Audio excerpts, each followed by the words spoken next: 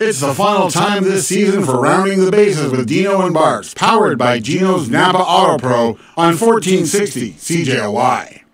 Well, I'll tell you what, I'll be honest with you, this wasn't the script I, uh, I wrote up for this team to end the year. Um, you know, you said anyone could beat anyone, but it was a bit of a shock. Yeah, it's definitely, uh, the shock is starting to wear off a little bit. Um, you know, it's, So that's why waited till today to record. I appreciate I didn't that. want to wear my phone. I really, at this point uh, of, of the calendar, I didn't think that we'd be talking about a year end. I thought we'd be closer towards the uh, end of September um, with a little more joyous uh, ending to the season. But uh, it was uh, it was a shocker. It was disappointing, and, and uh, I feel bad for the fans and for the uh, players because uh, we had great expectations for this season. Well, let's talk about uh, the fans because you wrote a very heartfelt letter on Facebook, and uh, a number of friends, you know, texted me and said, "Did you see what Dino wrote?" And of course I did. And uh, but you, you spoke from the heart, and we do have the best fans in Intercounty baseball. No question. And uh, I was, especially on that last day, the, the, the way they stuck through it, and as loud as they were, and you know, just it, it was it was it was a great great summer. And uh, you know, I guess if you look at it, uh, I, I did say to one of our newspaper guys, um, if you look at, it, I guess the, the big success for us was that we brought baseball back after a couple of years off. We brought some excitement, uh, but you know, Guelph is my hometown, and and uh, and you know, obviously I'm a huge Guelph Royal fan, and and uh, and, I, and I appreciate what the fans have done, and I wish we could have a better result for them. Well, I'm not going to harp on the lowlights, but the highlights. You know, Claudio Custodio, 206 strikeouts, awards from the league. Could he be the MVP? He should be. I mean, I, I've been saying this all year. He's not just the best pitcher; he's the best player in the league because he is hitting 400 as well um, as a hitter. Uh, he's just such a dynamic person, a competitor. He was upset that he came out of the game the other day, but you know, I have to think about his career and his livelihood. Uh, he had thrown 76 pitches two days before. No pitchers go back to back, you know, days like that. Like he, he just wanted to compete and give us an opportunity to win. But you could tell as he was wearing down in the last, in the, in the fifth inning, sixth inning, uh, he started, you know, he didn't have the same control. His fastball didn't have the same life to it. And sometimes, you know, 75% of Claudio Custodio is better than 90% of the guys at 100%. So um, he uh, he was just tremendous. Uh, we had we exchanged a couple of text messages before he left, and uh, he was very emotional about the loss. And uh, you know, again, one of the one of the greatest guys I've ever been around. And I spoke to a couple of guys that have been in the league a long time. I think he is the best pitcher I've ever seen in this league. Well, uh, Darren Baxter, our news director at CJOY, has become a huge fan. And even at the last game, uh, he uh, texted me saying, "Where's Claudio playing?" And I said, uh, "Second base, uh, right field, uh, pitcher. Uh, he's better than Shohei Ohtani because he can do three positions." And uh, Darren became an instant fan. Oh, well, yeah, it's hard not to. And, you know, you, you spend time around him. He's a funny guy. Um, you know, always wanted to help the younger guys. Yeah, too. he always wants to help the younger guys.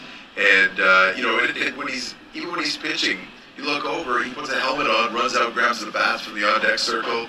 He chases foul balls down the sidelines. Uh, he's. Uh, you him, you probably coach third base when he retired. I told him he goes. I just don't like sitting around, and and he's uh, he's uh, and he's a good family guy. He's got two young kids at home. He left them for the whole summer to come up here. He he waived uh, an opportunity to make a lot of money in Mexico this summer because he made a commitment here and he loved the community and he loved the way the organization treated him. And just uh, like I said, just a great individual. And again, the best player I've ever been around. Now we talked about the fans. Now, how about the volunteers for the Royals organization? Yeah, no question. Lou Ambro and his family, uh, you know, Jordan Ambro, uh, you, who made such a huge commitment to us despite working a lot of hours and, and having a lot of things on the go. Uh, Neil Srivastava, uh, the, the list goes on, Mark Graham.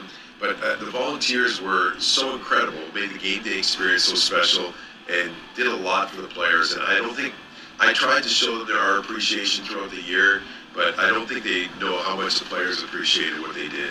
I think having a uh, paramedic photographer too is good for a team. Yeah. Well, Gar is so talented. He uh, takes so much pride in what he does. His pictures are phenomenal. And what he does for the community, not only with the Guelph Royals, but for a lot of sports teams.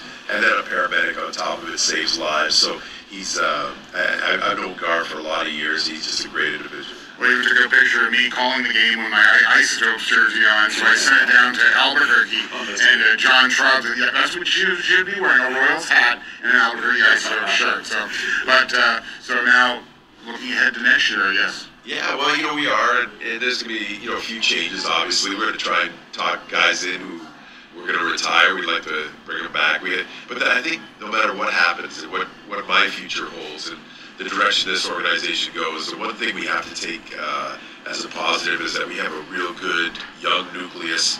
Um, you know, we had incredible performances from Ethan Hammond and Darius Barless and, and uh, Ashton Patterson and Owen Ellis. They all stepped in and did things.